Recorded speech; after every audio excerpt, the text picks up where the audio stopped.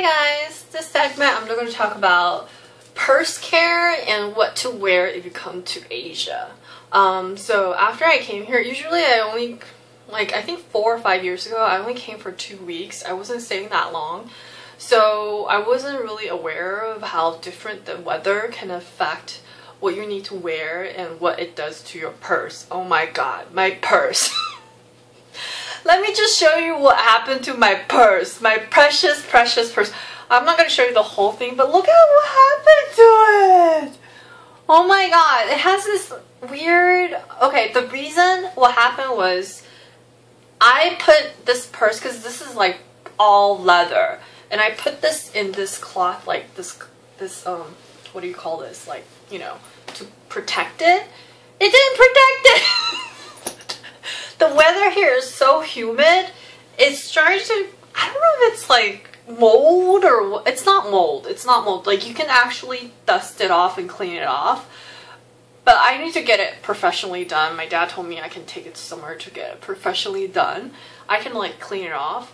But I read an article about this girl who bought like a Christian Dior purse um, here and then she also kind of like me put it in here like a protective bag and then she didn't use it for like four or five years or something and one day she took it out and she said it was totally like almost destroyed because of some kind of um she didn't know what it was. I think she was kind of like me like totally shocked. Like, i don't know what this is. I've never seen this. I used this purse like for more than three years in la nothing ever happened like this and the reason I didn't use it here is because this leather purse is so heavy. Um, because in LA I just kind of throw it in the car. Like you just kind of like hold it from my garage to my car, and then when I get to work, I just kind of basically hold it from where from my garage to you know upstairs to like take the elevator and I get to my desk. That's it. That's it. I barely use it that much. I mean, hold it that much. But in Taipei, everywhere you walk, you walk everywhere. Even if you take taxi or you take subway, you will have to walk. So your purse has to be as light as possible. So this girl, she bought this Christian Dior purse. Of course, it's leather, right? She takes it out out of this protective bag, and she probably was like me, shocked. And then I guess Christian Dior has a policy. Like usually, all these brand names have this policy. Like if you so for some reason, if it's like destroyed or whatever, you can go back. Like I remember my dad bought something from Jaguar or something. Like it used to be an old old brand. This is like long time ago, not not like recently. And they said anything that if your tie gets destroyed, you can just come and get another one. Just bring whatever's left of it, right? So I don't know exactly what Christian Dior policy was, but she brought her purse back to Christian Dior the store and then told them that she needed a replacement. And they said oh unfortunately this is due to the weather wear and tear and it's so we cannot give you a new purse. And you know how much Christian Dior purses cost. I mean my purse doesn't cost that much but I'm still like heartbroken. So if you come to Taiwan be careful of don't I want to say don't bring all your good purses or like China or Hong Kong. Like the weather in all these areas are almost the same. Like it's humid. Um, I know Beijing is colder like during winter than Taipei, Taiwan, and hotter than here during summer. I, it's also as it's more than I think it's really really humid there, and they're not as air conditioned as us. Like we here, there's like dehumifier, dehumidifier, but I use it, but I don't think I use it constantly, and it was just like, I'm so sad. And then, but the weird thing is, um, my mom also had a purse that I bought for her. It was also all leather, but for some reason, her leather purse didn't have this weird growth. I don't know if it's because her closet has more open air because hers doesn't have, like my door completely closes this and my closet door, but hers is more open. I just have no idea. So if you come, I think it's best that you use, if you like some kind of leather material, use pleather. But I would recommend you to not even use pleather, just use nylon. Nylon is the lightest um, material for purse. I think that's the best. Um, like when I came here, I was like immediately, I was like, this purse is too heavy. I was like, Phew. and then I went and just grabbed like the first um, lightest um like kind of like a messenger bag here like also you want to wear something that you can wear over you um because you want to be have two hands you're getting on the escalator like if you go to the mall you go to the department store there's always escalator so you want to have two hands um, so I bought some kind of a messenger bag and it was like just nylon and it was like a random brand. I don't even care. I was just like, I'm desperate. So um, definitely bring something very lightweight. The other thing is what kind of clothing you should wear.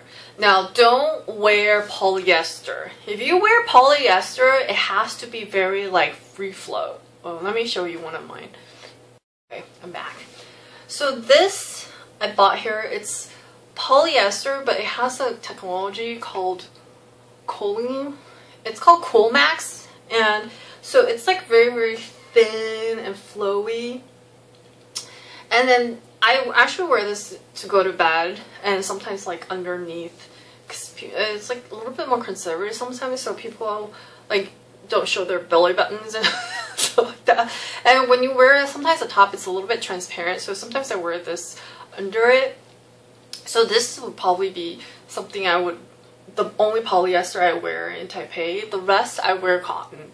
Um, I think rayon still is okay, but make sure the clothes doesn't completely like wrap you in. Like I saw some clothes that they have like high high neck, but it has sleeveless you're gonna like suffocate. Like here it's so humid. Like a lot of times I see my friends on Facebook complaining like it's so hot and humid. I want to rip my clothes off and just walk around bikini. Seriously, you would feel like that when you come here. So um, actually the if you're in Taipei in Taiwan um, buying clothes, if you're like a petite size in US, it's easy for you to buy clothes here and the material here is actually better than what you get in US because when you get in US, it's mostly made in China. So I work in the fashion industry, so I know from the designer that the China, the factories in China usually have lower quality than um, than the Taiwan factories. Taiwan factories are usually better quality. So all most of the clothes here you buy from here are either made in Taiwan or made in Korea, because um, the Korean fashion is really really hot here, and Japan. Um, the only problem is you have to be a very small size. So I'm a medium in US, but here I'm extra large.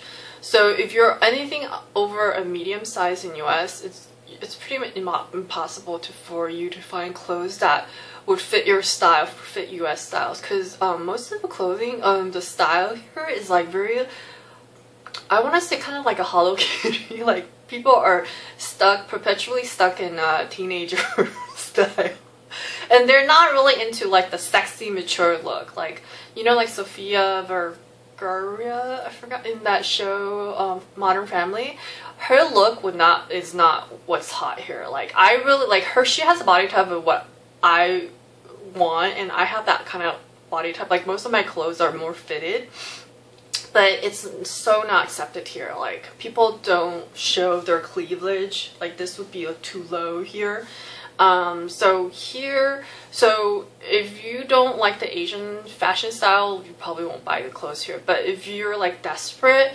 um, and you're like a small size in US, you can find clothes here, better quality, and usually cotton, mm, like really good material, fa fabric material.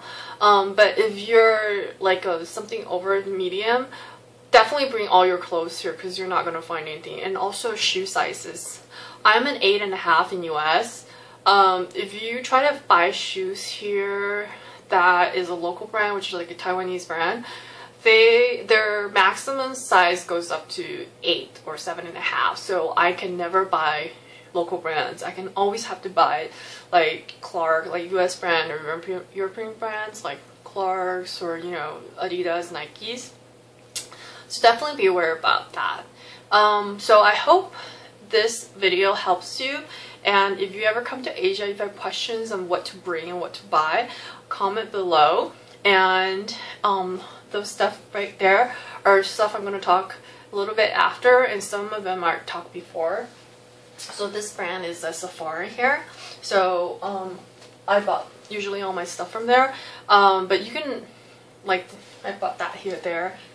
Um, this Natural Republic. It's a Korean brand, but you can also find this in LA. So I noticed most of the stuff here you can find in LA. Um, and if you like this video, please give me a thumbs up. Don't forget to subscribe. And I'll see you guys next time. Bye!